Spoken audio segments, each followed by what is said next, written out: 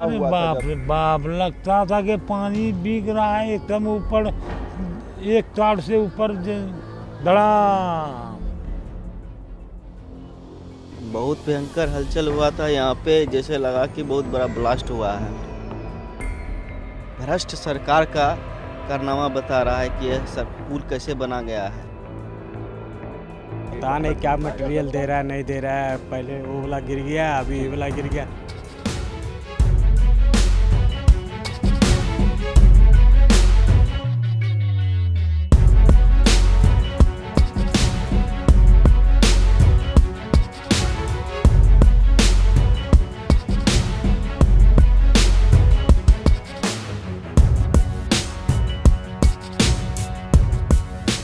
अरे हुआ बाप रे बाप लगता था कि पानी बिक रहा है एकदम ऊपर एक ताड़ से ऊपर धड़ा नज़ारा तो आदमी सब तो भाग गया नाव वाला तो उधर जो आता नाव में कूदने लगा तो गया नाव पर आदमी सा भागने लगा।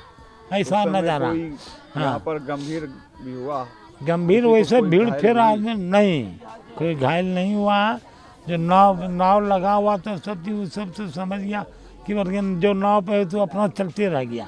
कितने बजे कल शाम के आसपास गिरी थी? वही साढ़े पाँच पौने छः के लगभग। छः के लगभग। हाँ। कोई गंभीर रूप से घायल हुआ है कि हाँ, नहीं नहीं गंभीर रूप से कोई घायल नहीं हुआ। अब अब वो जाने के लिए तो सब उस बार मसान घाट लगता है मसान को जल्दी पूजा नहीं लोग। गंगा माई को काम चल रहा है ये हाँ। पुल नहीं बन पाया हाँ, आगे क्या हाँ। लगता है आपको? अब अब यो नहीं बन सकेगा अब तो लगता है कि तीसों में बनेगा कि नहीं बनेगा कोई नहीं।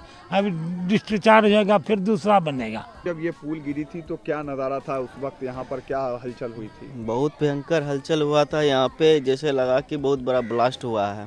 जी। हम्म, उसके बाद कुछ समय के बाद पता चला कि ये पुल पुल ध्वस्त हो गया। ये सब बता रहा है आपको भ्रष्ट सर भ्रष्ट सरकार का कारनामा बता रहा है कि यह सर पुल कैसे बना गया है। पहले भी एक बार इसके साथ घटना हो चुका है पुल टूट चुका है। फिर भी इस पे जो है ध्यान नहीं दिया गया। ये पूरा ये राज्य सरकार जो है पूरा भ्रष्ट है। इस पे कार्रवाई की जाए। तो क्या स्थिति थी उस वक्त और अभी आप लोग क्या उस टाइम तो बहुत भीड़ लगा हुआ था देखने का नज़ारा ही कुछ और था। जी। कैसा अनुभव था उस वक्त जब आवाज़ हुई पानी में? आवाज़ तो बहुत दूर तक पहुँचा जैसा लग रहा कोई चीज़ फट गया पूरा एकदम। पिछले आठ साल से इस पुल का काम चल रहा है अभी तक ये पुल नहीं बन पाई है। क्या लगता है आप लोग को आगे पता नहीं क्या मटेरियल दे रहा है नहीं दे रहा है पहले वो वाला गिर गया अभी ये वाला गिर गया।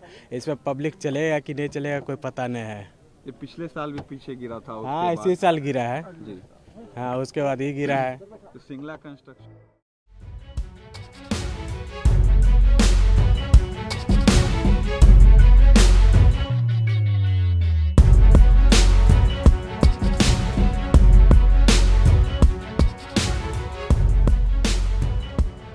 लोगों को कल ध्वस्त होने के बाद जस्ट हमें लोगों को सूचना मिला।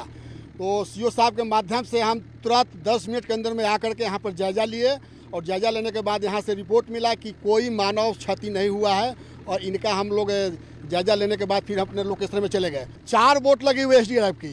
दो बोट उधर से दो बोट इधर से। और चारों बोट अभी नदी में चल रही है और इनके जायजा ले रहे हैं कि मतलब किसी तरह से कोई अभी इनका पदाधिकारी आए नहीं है पुल वाले। तो कोई दिखाई नहीं इनसे बात करने में अभी कुछ ऐसा नहीं हुआ तो।